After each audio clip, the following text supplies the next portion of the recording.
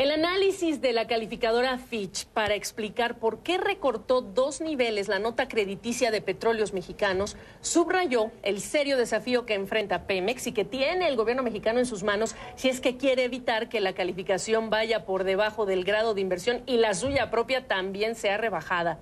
Pemex es el mayor deudor corporativo del mundo. De su deuda estimada en 100 mil millones de dólares, 80 mil millones de dólares está en bonos. Solo el servicio de la deuda le requiere unos 10 mil millones de dólares a Pemex.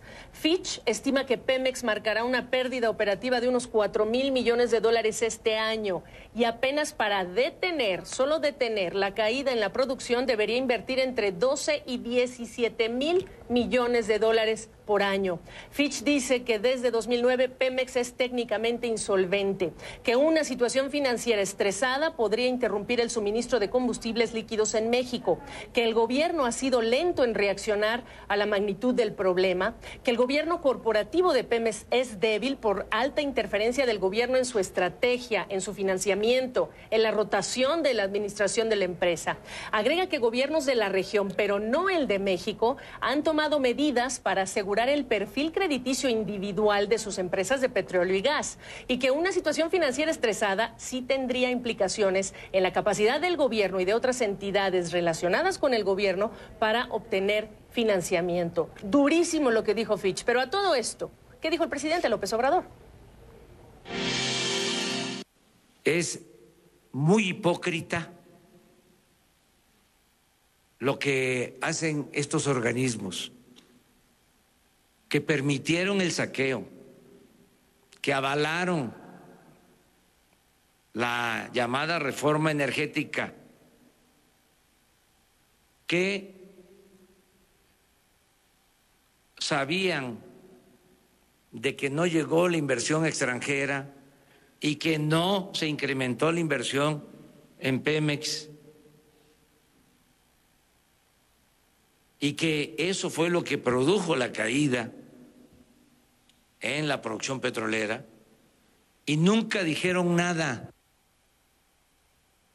A ver, tu primer comentario sobre lo que leíste de Fitch, Carlos López Jones es editor en jefe de Tendencias Económicas. ¿Tú qué dices? Pues yo estoy, yo estoy muy preocupado porque en efecto lo que dice Fitch es totalmente cierto.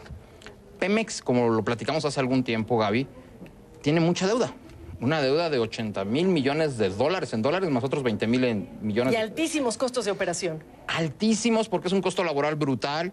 La refinería de México tiene tres veces más personal que cualquier otra refinería en el mundo. Son refinerías de 1960, etcétera, etcétera. ¿Qué es lo que pedía Fitch? Que Pemex se dedicara a extracción, que no se dedicara a refinación, que no se dedicara a pipas. ¿Y qué es lo primero que hace el presidente López Obrador? Refinerías refinerías, que hoy dice el Instituto Mexicano del Petróleo que no van a costar 7 mil millones de dólares, sino 15 mil millones, y que invertir en ductos. Y ahora vamos a pipas, algo que hace 100 años no veíamos. Ahora, en lo que le ha inyectado dinero hasta ahora el gobierno, 1.800 millones de dólares más o menos, eh, si no me equivoco yo en la aritmética, versus lo que paga en intereses de la deuda y lo que necesita invertir para detener la caída en la producción, vamos, eh, esta sola suma, Carlos, ya te da una idea de tamaño problema que además Fitch dice que el gobierno no ha sido capaz de dimensionarlo en, en su justa magnitud. Sí, lo que pasa es que el gobierno mexicano presentó el año pasado un presupuesto y dice, te voy a dar 5 mil millones de dólares Pemex, y es, espérate, necesitas 18 mil millones de dólares. Y además, recordemos que hace un par de semanas el director de finanzas de Pemex fue a Nueva York. Uy, y todo el mundo habló de, de lo mal que les fue. Todo el mundo, porque ahí les dijo a todo el mundo, debemos 5 mil millones de dólares que vencen este año, y en lugar de salir a pedirlos al mercado, los vamos a prepagar. Y entonces todo el mundo dijo, ¿de dónde vas a sacar el dinero? Y la respuesta de todo el mundo fue, este señor lo tienen que despedir mañana mismo y al señor lo han mantenido y se mantienen todos estos gastos adicionales en Pemex en lugar de dedicarnos a extracción? Eh, para ser justos, Carlos, eh, aquí el presidente López Obrador no es el creador de la, de la situación, a ellos eh, finalmente están llegando y ahora pueden hacer cosas. Lo que están haciendo, pues está indicándole a Fitch una cosa que no es positiva. y es cierto que hace mucho tiempo debieron meter mano otros gobiernos que son responsables al esquema fiscal de Pemex. Eso a nadie le queda duda, ¿no? Que hay corresponsabilidad de gobiernos anteriores. Sin lugar a dudas, lo platicamos contigo, Gaby, en 2014 más o menos, y dijimos, Pemex está sobreendeudado, y lo siguen endeudando y sigue siendo la caja chica del gobierno. Como diríamos los mexicanos, te lo dejo con alfileres, pero llegó López Obrador y le quitó los alfileres. Y Claro. esta es la primera reacción. ¿Y qué me dices eh, cuando este gobierno también ha detenido algunas de las licitaciones y cuando hay eh, personal menos, menos eh, digamos, calificado en términos técnicos en el sector energético que llegó con López Obrador? Ese es otro problema gravísimo y también lo menciona Fitch. Ten- tuvimos dos grandes yacimientos en México, Cantarell y KMZ, los descubrieron hace 30 años, se están aga- acabando. Cada año estima Fitch que va a caer la producción 5%. Entonces, ¿qué fue lo que hizo el gobierno anterior? Hizo la reforma energética, abre el mercado para que haya más producción petrolera. ¿Y qué es lo primero que llega López Obrador y dice? No, se acaba, se pospone, Se pospone. se pospone, no hay fecha nueva y por lo que vimos hoy en la mañana, pues parece que se sigue posponiendo. Entonces, Fitch lo que dice es, si Pemex no le da suficiente dinero al gobierno, Claro. ¿de dónde va a sacar el gobierno dinero? Em, en la trayectoria financiera de Pemex está en riesgo. Eh, esta no es el peor momento, dirías tú, de Pemex por lo que está haciendo el gobierno. No lo que dice, lo que está haciendo el gobierno de López Obrador. ¿Y ves inminente una inyección de recursos para evitar una rebaja en la calificación de Pemex? El problema es de dónde van a sacar ese dinero, porque ahorita el presupuesto ya lo destinaron para 2019. Por ¿Y eso es que entonces?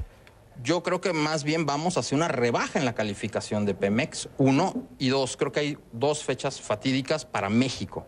Mañana, 31 de enero, vamos a conocer lo que pasó en diciembre, pero sobre todo, 28 de febrero, la Secretaría de Hacienda nos tiene que decir qué pasó en enero, cuánto afectó en ingresos, en producción y en crecimiento, el desabasto, lo que está pasando en Michoacán, etcétera. En ese momento vamos a ver cuánto dinero tiene el gobierno y si realmente va a cumplir su meta de superávit.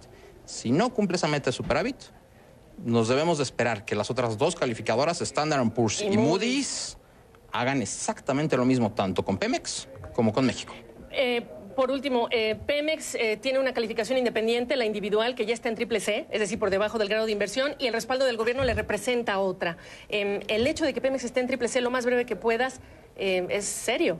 Muy serio porque, como bien lo menciona Fitch, eh, Pemex le aporta al gobierno mexicano más o menos 80 mil millones de dólares de un presupuesto de 250 mil millones de dólares. Estamos hablando del 30% de los ingresos del gobierno son Pemex. Por eso es tan preocupante Pemex. Em, gracias, Carlos. Este es un tema eh, verdaderamente serio que puede ser el talón de Aquiles de este gobierno, lo habíamos dicho en varias oportunidades.